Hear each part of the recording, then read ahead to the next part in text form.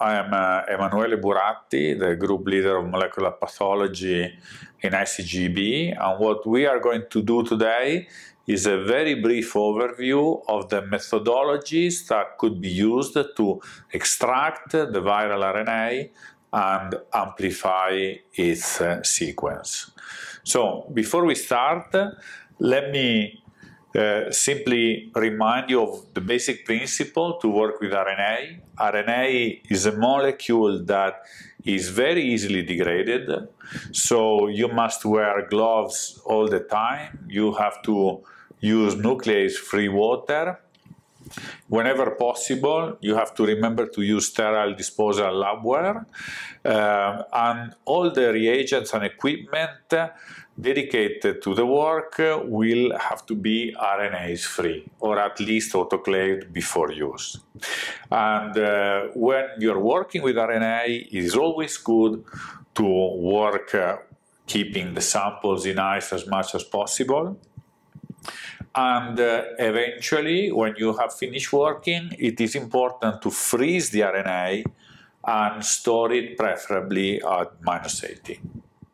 So there are many ways, both commercial and uh, uh, do it yourself at home, that one can use to extract RNA. I will start with the first one, if available, and that is the use of the QIAamp kit for the purification of RNA.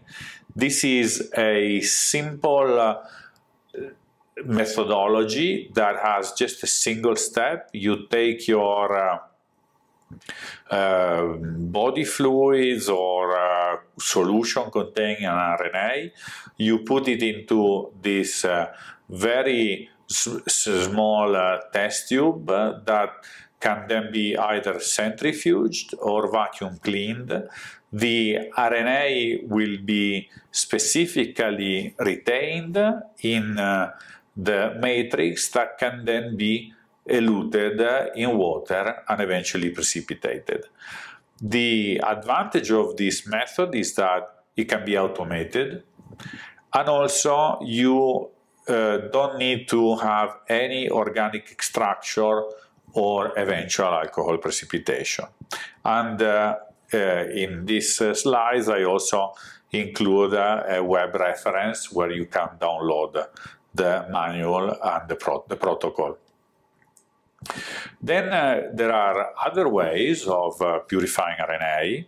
So one, for example, that is very commonly used in labs everywhere is the use of RNA-Zol. And uh, also in this case, RNA-Zol is a single-step isolation of total and small RNA from basically any source that you want to use in the lab. It is uh, a solution that is a mixture of guanidine thiocyanate and phenol in a monophase solution.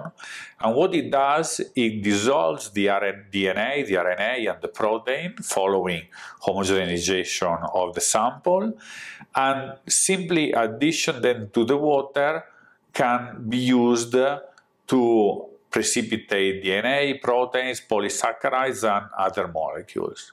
Once the water phase that contains the RNA uh, is uh, then uh, taken away, it can be used following alcohol precipitation, washing with 70% ethanol usually, and finally solubilization in the desired volume of water.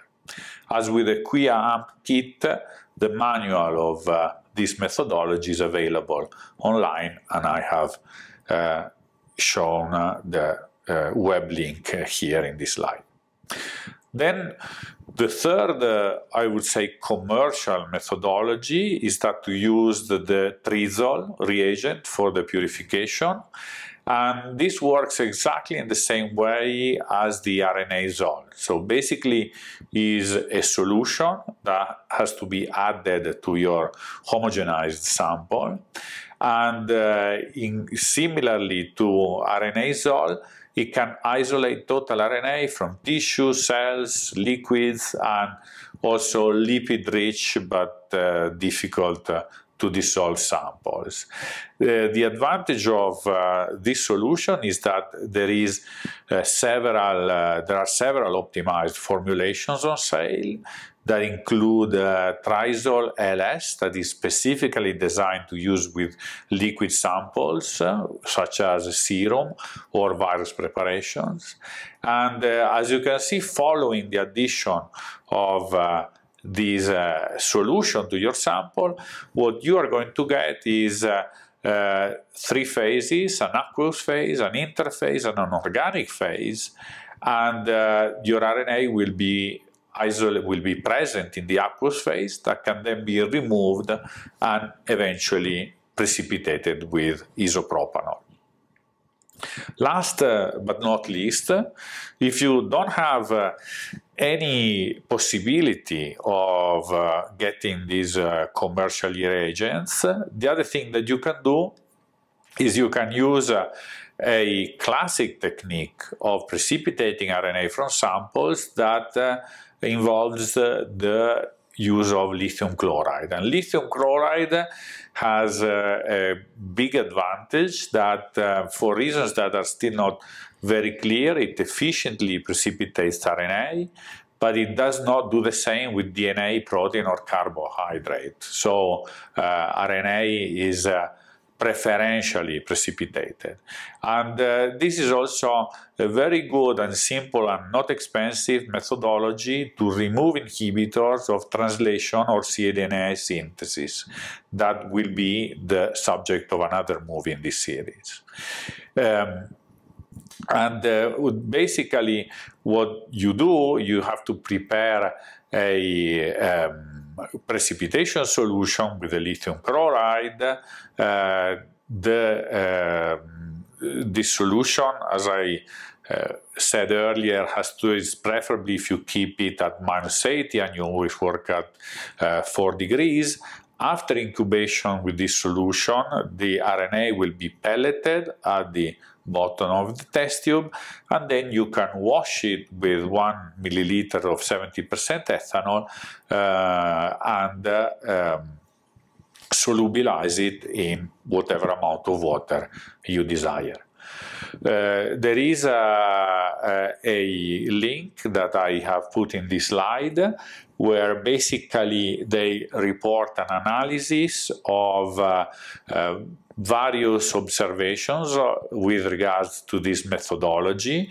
And uh, the bottom line of this analysis I have uh, basically outlined it here where uh, it said that RNA as small as 100 nucleotides and as dilute as 5 microgram milliliter can be efficiently precipitated by this method.